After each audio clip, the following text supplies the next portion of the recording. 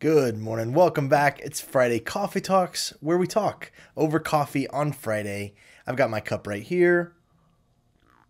Mm. Excellent, excellent, excellent. This is a new coffee I've just been started this week. Coffee Bros in North uh, North uh, New York. Uh, this is their espresso roast. I just ordered online. Literally just Googled good espresso to order on the internet. And I ordered this one, and it is fantastic.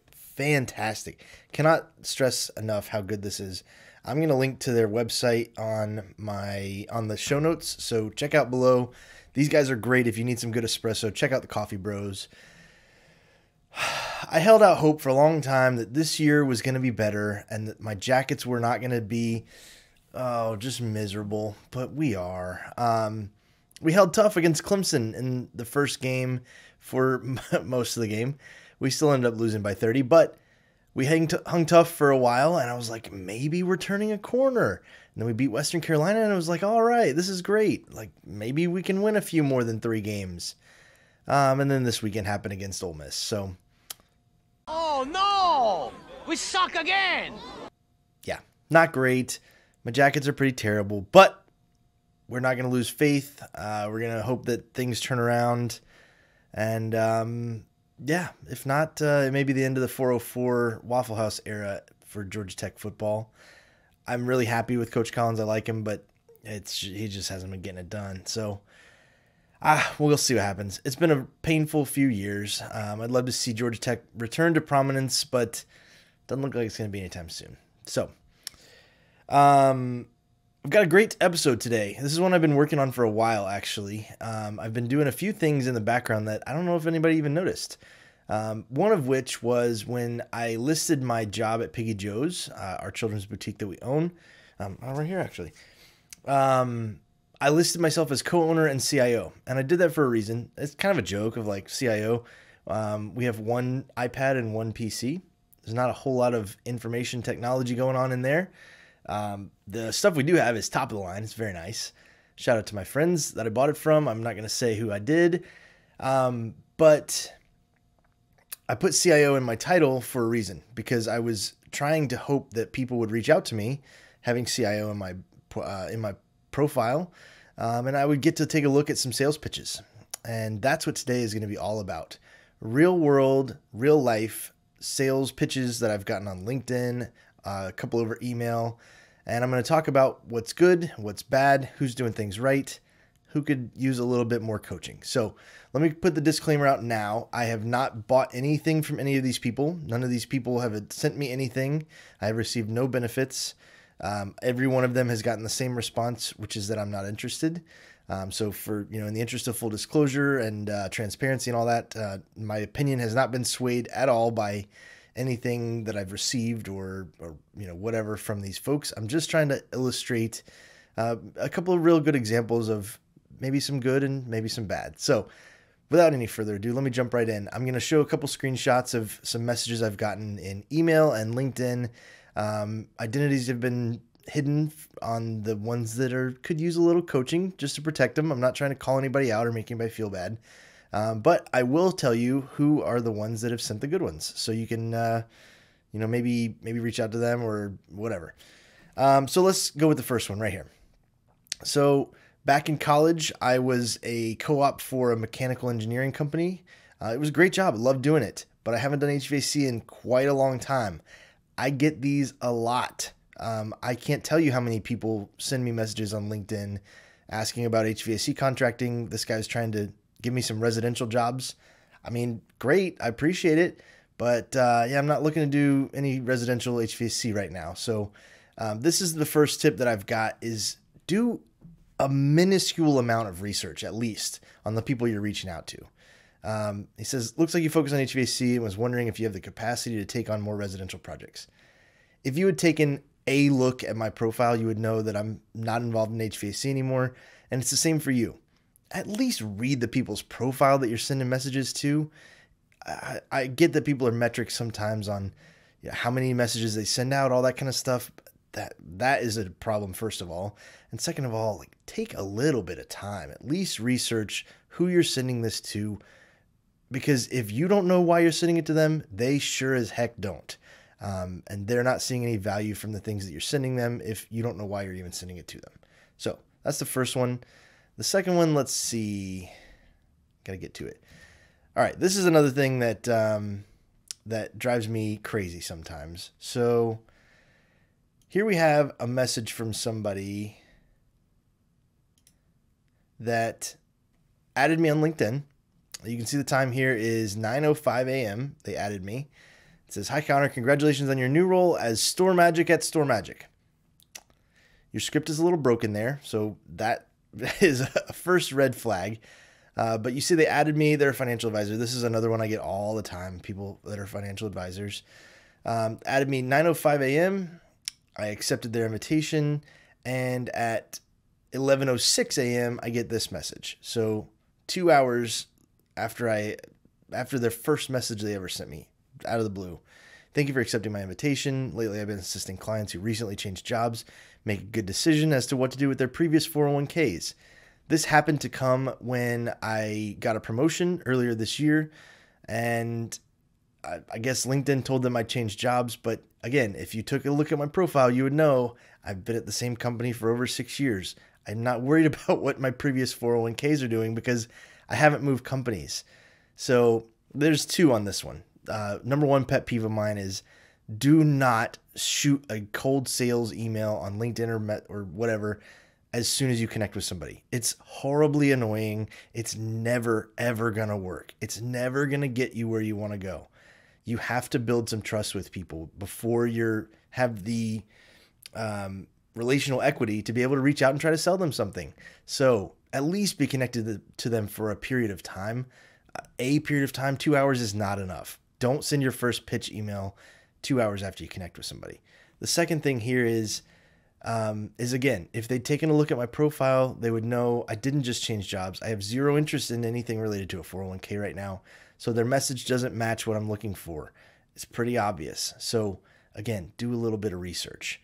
Um, I mean, for the first message to send to somebody to have a call to action to say, can we get on a brief 15 minute call over the next two weeks? No, no, no, I'm not interested. Not getting on a 15 minute call. All right, let's go to the next one. What do we have here? Okay, so those are a couple bad examples. Um, I, I have a lot more, but as I said, I'm not really trying to call anybody out. I'm not trying to make anybody feel bad. So there's a ton more in my inbox, but I couldn't. Those, those are the ones that I could conceivably hide who they were. The other ones have a lot of identifying information. They have very specific things about their company or why they reached out to me um, which is better, but you know, still not great examples. So um, I couldn't make the screenshots work. There's a couple of examples of the bad stuff. Let's talk about some of the good. Um, you know, coach the bad, celebrate the good. So let's do this one. This is one that uh, it didn't get a meeting, but it made me chuckle, and um, and it maybe it would work for you. So here we go. This is a message I got. Connor, hey, if I can make you laugh, you have to meet with me about how to expand in the United States. I mean, the opener's not great. I mean, if you're if you're trying to challenge me, I think there's a better way to word that, honestly. Uh, but I love the concept. I'm gonna tell you a joke. I'm gonna do something innocuous, and if it pans out, you got to give me a meeting. Uh, great premise. That's awesome. I've I, I like the approach, but um, so here we go with the joke deal. Here we go. Why do they call them pirates? Because that's what they are. Did you laugh? Uh, it's a good joke. It didn't get them a meeting, but it's a pretty good opener, pretty good, uh, like easy way to get in and, and start a discussion with somebody. It's a heck of a lot better than just throwing me up a big wall of text about why your company is so great. So, um, doing something different, they call it a pattern interrupt. It's different than what everybody else is doing. It's unique. It stands out. Props to this person. They did a great job at catching my attention. Um, it's not a perfect sales pitch, but it could it could use a little work. It's got a little room for, improvement, but it's a really good start. So I like this one a lot. Um, what is the next one? Okay, so this one is a guy named Troy Hippolito. I am connected with Troy. I'm going to tag him. Uh, but Troy did a wonderful job uh, at this. So, as it's pretty easy to tell, I'm a big fan of video. In my own cold reach outs on LinkedIn, I generally will use video. Um, Troy did have a, a, link here, which I tend to stray away from just because it, uh, it seems a little less personal, a little bit more um, produced, coached. I don't know. I don't even know if that's the right word for it, but um, he did send me a video. As you can see by the purple link, I did click on it when I first received it. Um, he did wait. He waited about a week to send this to me, which is very good. I appreciate that. He didn't just try to pitch me out of the blue. And the video was not a canned video that he sends out to a bunch of people. It was personalized, which is also very, very good. Um, it was short. I was able to watch the whole thing. I think it was 30 seconds, if I remember correctly. Um, he made it for me. It had my name in it. He was specifically talking about me, what he could bring to the table as value for me as uh, whatever service he was trying to sell. And the funny thing was the one of the things that connected me with me with me in the video is he has the same microphone that I do. Um, so I did send him a note back and said like, oh, I think it's funny we have the same microphone. I'm not interested in what you're selling, but thanks for the video. It was a nice touch.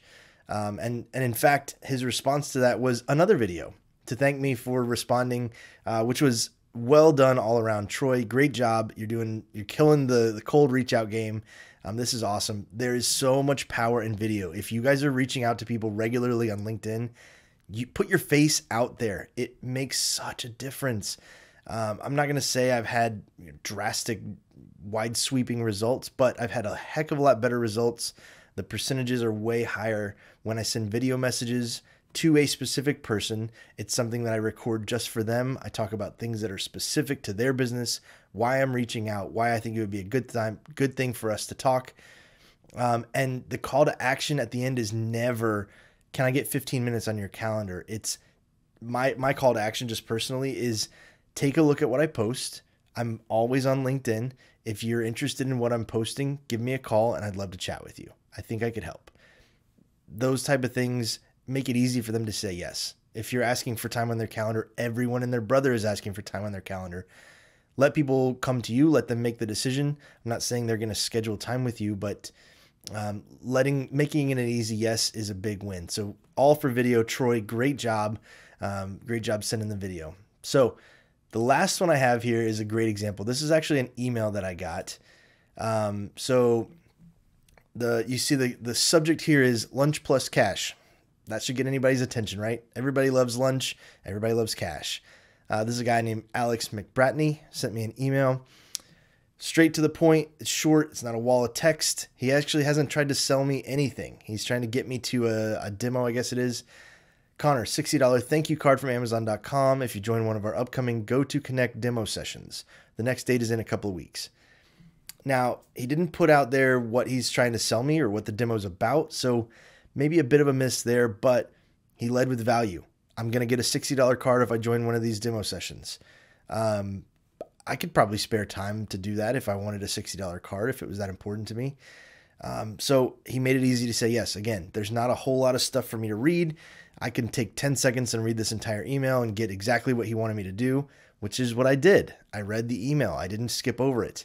Um, I didn't schedule a demo with him but I read it. I, he got his point across, so that's very good. Um, Sixty dollars is is a good amount of money. I mean, that's if you're trying to pay somebody for their time to show up to your demo session, you got to make it worth it. Nobody's going to come and do a, an hour long demo on something that they don't really care about for five bucks. So sixty dollars, that's great. That that'll turn some heads. Uh, but what Alex did next is really what sets him apart. So this next email that I got was a few days later. It wasn't that same afternoon. It wasn't, uh, you know, a month later, but a few days afterwards, Alex sent me this email, which he personalized it even more. So he replied to his initial email. He changed the subject to say Stormtrooper helmet. Um, took a big swing, happened to pay off for him. And then the body of the email says, also, just hey, heads up, I made sure your gift card is enough for you to get a Lego Star Wars Stormtrooper helmet. They're super cool. My kids love these things. I thought I would mention it. Now that is taking it to another level. It's personalizing it. That's a great, great, great touch for a a cold email. Like this is awesome. He took a swing. I'm a seller in an IT world. I'm a white man and he guessed that I would love not only Lego but Star Wars. In his case, he happened to be correct. So it came out for me. I read this email and I go, "Oh. Oh, I wonder if I could do a demo session." Um, I didn't. Again, let me be clear, I did not. Um, but uh, there's it, it more intrinsically valuable for me to earn a Lego Star Wars helmet that I can make with my son. Uh, that's a memory. He's selling me a memory and an experience, not just a $60 card now. So that is a super, super good touch. You'll notice he has not put anything in here about his company, what he's trying to sell me, what products they have. He has not pitched me at all. He's trying to get me to a demo session. And in this case, what I actually did from here is I went and looked up his website and I figured out what he did on my own. Um, he got me to spend my time researching him instead of him trying to sell me, which is exactly what you're trying to do. Um, it didn't so happen that uh, I needed his product, but if it was something that I needed and was interested in, I d- went out there. I started looking into his company and I figured out what he did. And if it had fit, I would have probably done a demo uh, because he had done a great job selling me.